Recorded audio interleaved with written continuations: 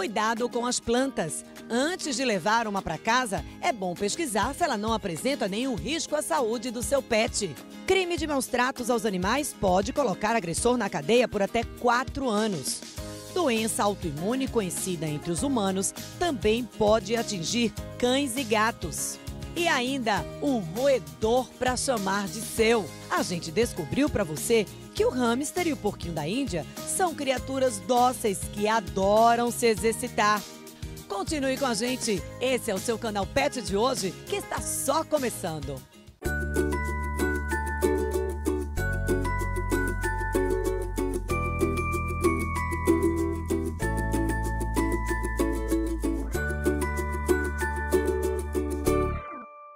Final do ano passado, o Senado aprovou o projeto de lei que prevê a ampliação da pena para crimes de maus tratos aos animais. O professor de Direito Penal e Processual Penal nos recebeu na universidade e explicou como anda a lei que amplia a punição em casos de maus tratos animais. A pena hoje para o crime de maus tratos é uma pena que vai de três meses a um ano.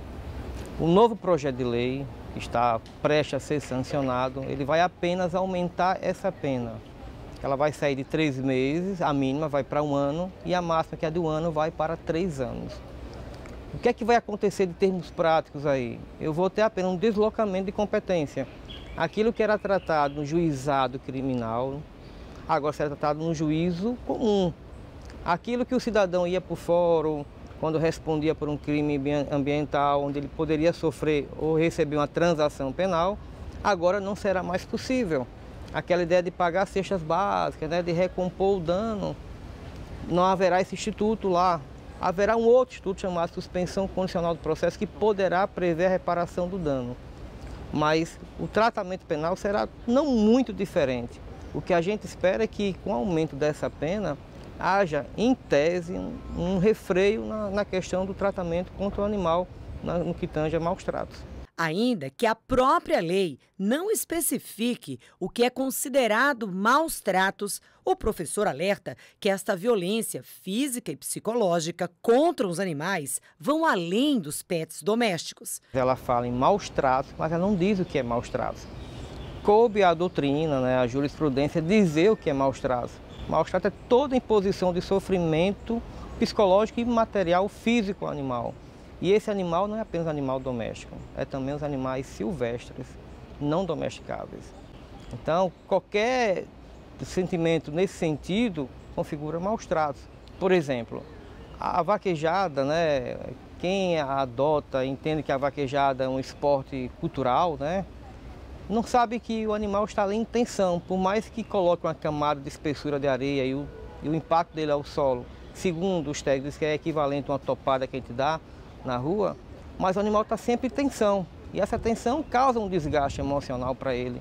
E isso é maus tratos. Eu não posso pensar em maus tratos apenas na questão física, mas também tem que pensar na questão emocional, porque os animais são seres sencientes. Eles sentem dor, prazer e sofrem.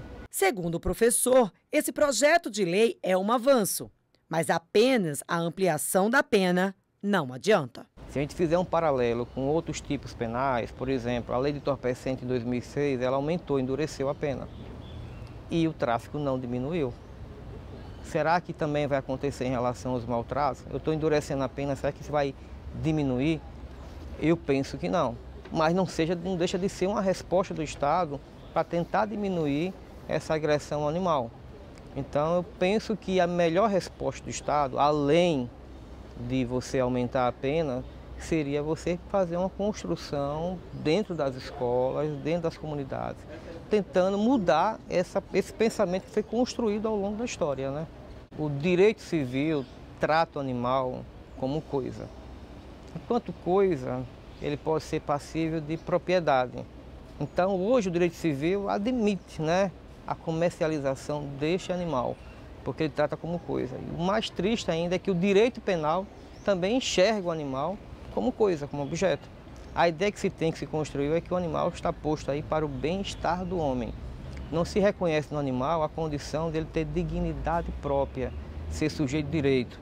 O que o direito animal pretende não é humanizar o animal, mas é dar dignidade a ele, assim como o homem tem dignidade buscar não igualdade física nem racional, mas igualdade moral. Partindo da ideia de que tanto o homem como o animal, eles são sujeitos de uma vida. E como sujeito de uma vida tem direito à liberdade e à preservação da sua integridade física. Olha, a campanha Março Amarelo chama atenção para a prevenção da doença renal nos humanos em todo o mundo. E o movimento já tomou conta também dos consultórios veterinários, para lembrar a você que tem animal de estimação da importância do diagnóstico precoce. O primeiro sinal da doença renal, a gente sempre diz que é o vômito, o excesso de vômito do paciente e a perda de peso. Como você tem muito vômito, a, a tendência desse paciente é desidratar. Indicar esse paciente para terapia dialítica, sendo a hemodiálise e a diálise peritoneal. São ambas são terapias dialíticas e isso vai depender muito de cada paciente para saber como que a gente vai se comportar e indicar a melhor terapia. Ou a parte clínica. Esse paciente ele também pode ser é, tratado no que a gente chama de tratamento domiciliar. Ele pode ficar em casa e ser acompanhado em casa sem necessariamente precisar das terapias dialíticas. O gato ele tem uma tendência maior a desenvolver doença renal do que o cachorro. E a gente costuma dizer no meio da, da urologia que o gato ele concentra mais urina do que o cão. Então, eles por esse um, um esse é um dos grandes motivos para eles também desenvolverem, ter uma certa tendência a desenvolver a doença renal. A melhor prevenção é o controle né, e os exames periódicos. Você tendo os exames periódicos do seu paciente, pelo menos uma vez por ano, ir para o clínico e, e fazer o acompanhamento, você ter toda a questão de vacina em dia, é, livrar esse paciente de todo tipo de ectoparasita, carrapato, pulga. É, os cães braxcefálicos, que são aqueles cães que têm um focinho mais achatado, sempre a gente sempre pede para evitar o calor. Sobre a quantidade de água por dia, isso vai é, depender muito do porte do seu, seu pet.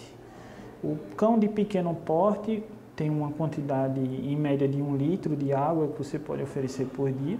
O cão de médio porte, uma média de 2 litros. E o cão de grande porte, você, você vai oferecer de 3 a 4 litros por dia.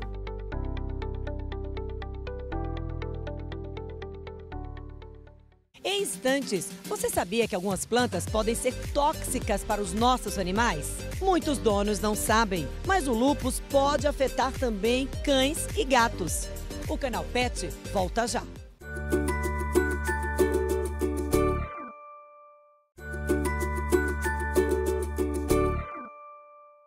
As plantas dão toque especial em qualquer ambiente e todo mundo gosta, inclusive os nossos pets. E é por isso que a gente vai te ajudar a conhecer algumas espécies que devem ser mantidas bem longe do alcance desses curiosos. A nutróloga alerta: quem tem animal de estimação precisa ter muito cuidado na hora de escolher as plantas que cultiva. As plantas que são de uma folha de uma cor só, né? Elas podem ser menos tóxicas. Tudo vai depender do volume que o animal vai ingerir. Então, se ele comer muito, ele vai passar mal e pode dar até o que a gente chama de, de constipação. É, aquelas folhas em excesso podem formar um bolo e fazer é, obstrução. A empresária Carla Teixeira, que comercializa plantas, diz que apesar dos riscos, as pessoas não se atentam muito ao perigo. Elas não se preocupam com isso, né? Elas se preocupam assim, belezar a sua casa. Eles procuram muito a erva de gato, que é, serve assim para a digestão do, do gato, porque como o gato se lambe muito e como engole muito pelo, né? Então essa erva ajuda na digestão dele. Muita atenção para aquelas com mais de uma cor nas folhas. Exemplo, espada de São Jorge, comigo ninguém pode, aquelas folhas são coloridas. É branca com verde, tem aquelas folhas que são é, amarela com verde, vermelho. Então, as plantas que têm as folhas tóxicas, as folhas coloridas, são as que são mais tóxicas e que apresentam um teor é, de substância maior. Né? Não necessariamente isso quer dizer que as, as que não tenham, que não são coloridas não tenham essa toxicidade. Elas podem existir, mas dependendo muito do, da quantidade que o paciente vai ingerir. Cuidado também com as flores. A veterinária alerta para alguns sinais que podem indicar que o animal foi envenenado com a planta. Primeira coisa é vômito. Se o paciente não, não, não tem essa questão do vômito, é observar se tem alguma plantinha comida. Algumas plantas, como comigo ninguém pode, e espada de São Jorge, que eu costumo bater uma tarefa que a gente sempre tem em casa, elas podem dar é, sinais neurológicos, convulsão, Algum, alguns pacientes podem ter diarreias de imediato, aquelas diarreias bem fétidas mesmo. O paciente fica mole, desnorteado, sem saber onde é que está. E aí, às vezes, acaba mascarando com alguma outra coisa. Então, é bom sempre olhar onde o paciente passou mal, se tem algum vômito, alguma coisa. Aí, o socorro tem que ser de imediato. Levar para urgência urgente, urgente, urgente, não fazer nada. Se conseguir induzir o vômito para diminuir a quantidade de toxina que está sendo ingerida, ok. E se possível, levar a planta que se suspeita que ele ingeriu. E a grama? Preciso me preocupar se o animal comer? Alguns gostam bastante de comer, então é questão de gosto, eles procurarem as gramas ou algum outro paciente, algum outro cachorrinho passou por ali, deixou o cheirinho, eles vão lá realmente para para futucar, ou alguém jogou algum alimento e aí eles ficam cheiro impregnado na folha, eles vão comer. E tem um outro lado também daqueles pacientes que têm cólicas, que estão passando mal por alguma coisa que ingeriram, eles veem a grama como algo irritativo para que eles possam vomitar. Então, o que a gente pode observar é que na maioria das vezes, quando os cães eles comem gramas, logo depois tem aquele vômito com a grama. Então, por quê? Porque a graminha ela causa irritação no estômago, então se eles estão enjoados, estão achando que foi alguma coisa que comeu e acabam comendo a grama, aí eles vão por para fora.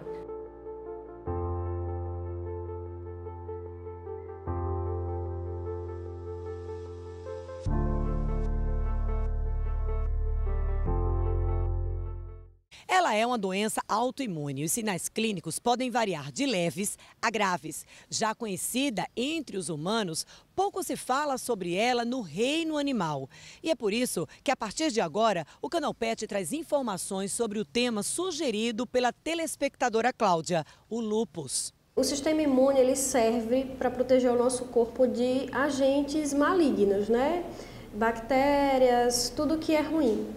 Vírus, só que o que acontece no lúpus, o nosso sistema imunológico, o sistema imunológico dos animais, começa a desenvolver uma defesa exagerada contra as células benignas do próprio organismo. É mais comum em cães, não se sabe por quê, mas a maioria é cão que é acometido.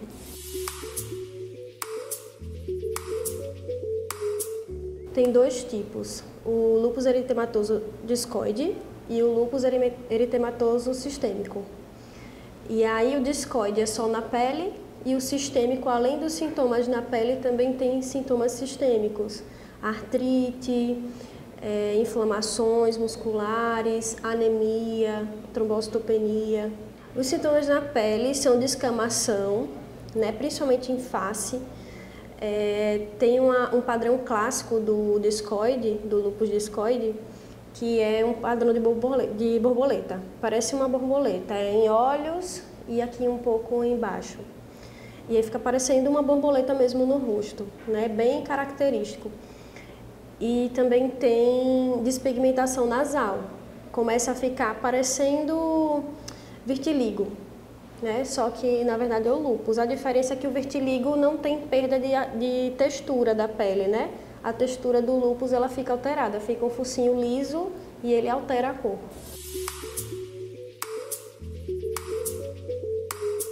Qualquer alteração de pele ele já pode direcionar para um especialista de pele. Ele não vai saber que é lúpus, né? Ele vai ver que o, o animal dele está com dor, dor articular, né? dificuldade para caminhar. E isso confunde com várias outras doenças, né? A doença do carrapato, doenças osteoarticulares. Então, assim, para fazer o diferencial mesmo só o veterinário.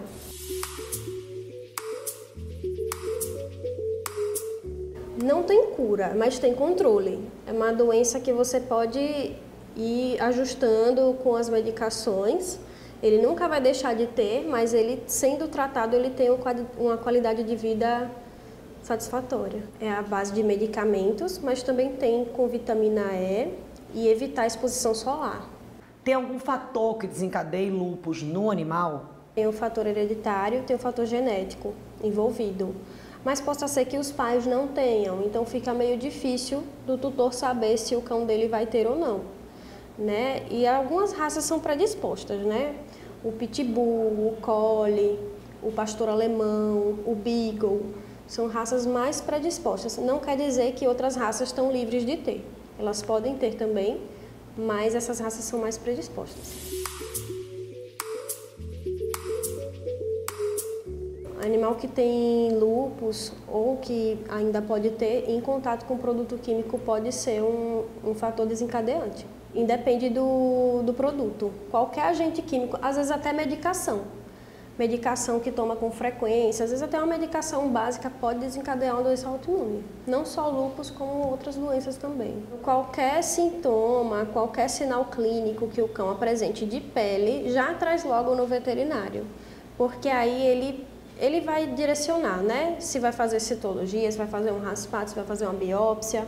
Você, tá, você vai estar tá evitando, por exemplo, insuficiência renal, que acontece no, no lúpus sistêmico, né? Se você pega precocemente, você evita dele desenvolver insuficiência. Ele vai estar doente renal, mas ele vai ser controlado. Do que ele chegar já insuficiente, já o prognóstico já fica mais reservado.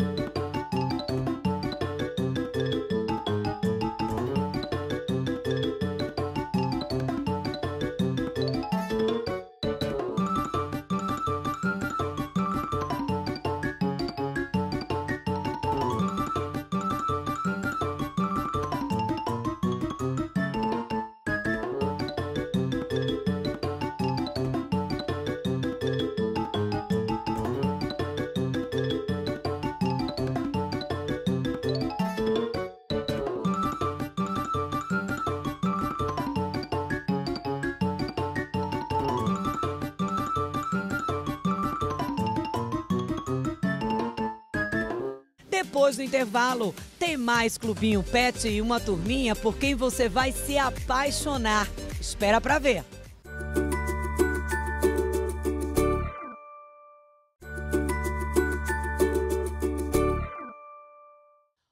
Optar por animais menores às vezes é uma questão de necessidade, principalmente para quem mora em apartamento e tem como resistir a um roedor dócil e muito fofinho. Veja aí de quem a gente está falando.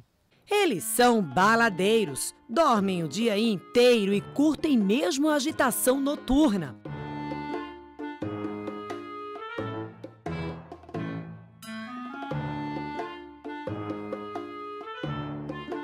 Hamsters que vivem até 3 anos são os queridinhos e concorrem em procura com os porquinhos da Índia, que chegam a viver até 7 anos. Os dois estão na vibe mais atual da alimentação. São veganos. Isso mesmo, veganos. São animais herbívoros, eles não podem comer nada além da sua raçãozinha e as suas frutas e verduras específicas mas sempre tendo uma atenção que tem que tirar 10% da alimentação da ração e complementar com frutas e verduras. E atenção, não é mito. Os dentes desses bichinhos crescem sim, exageradamente. Mas não se assuste, basta dar coisinhas para eles roerem e tá tudo certo.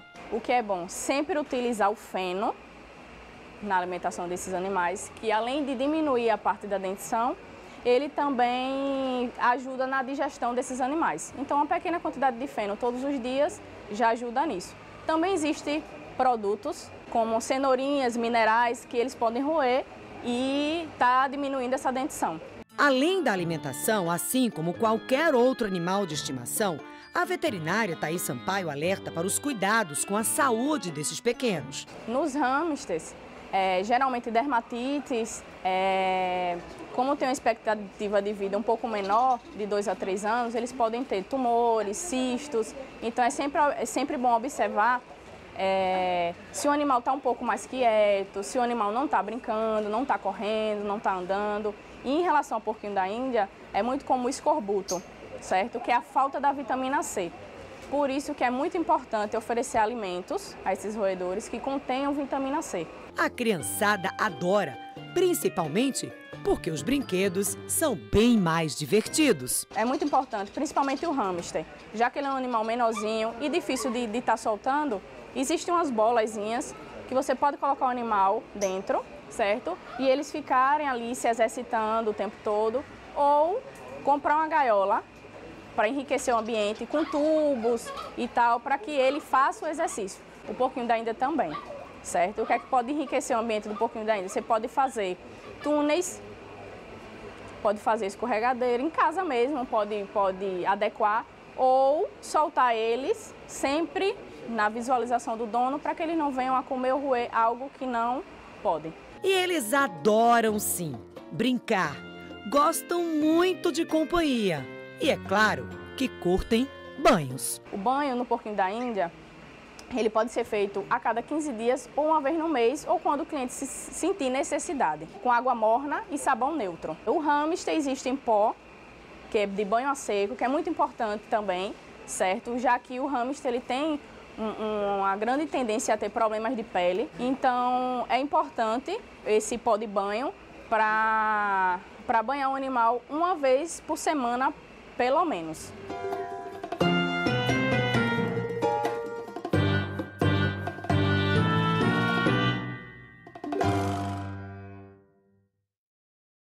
Música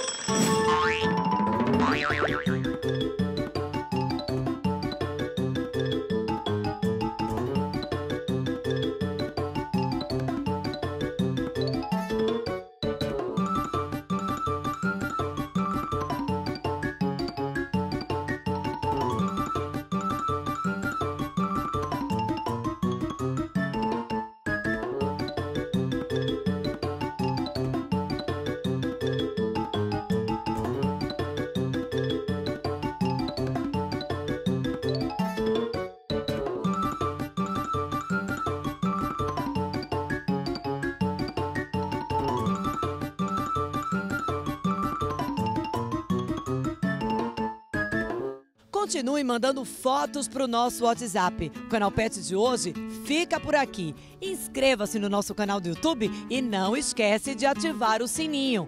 Acompanhe as nossas redes sociais e não esqueça, domingo é dia de canal Pet aqui na TV Atalaia.